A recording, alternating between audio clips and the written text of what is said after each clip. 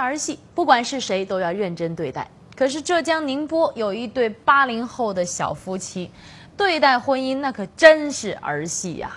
四年时间里，他们结婚七次，离婚六次。这两位是在上大学的时候就谈恋爱了。二零零八年，两个人领了结婚证。第二年呢，生了一个可爱的女儿。哎，看起来挺幸福的三口之家。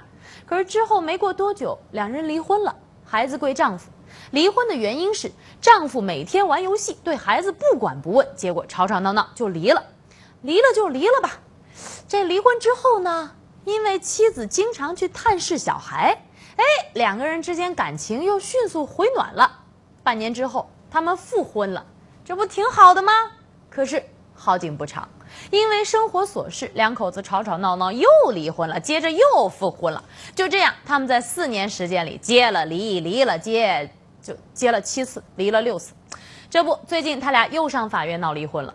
不过前两天呢，丈夫一纠结又撤诉了。哎呦，还真是服了这两位啊！这《三国演义》开头第一句话是为你们俩写的吧？天下大事，合久必分，分久必合。你把结婚离婚当成过家家呀？你们这样来回折腾，想干嘛呢？创造世界纪录还是咋地呀？对孩子还负不负责任呢？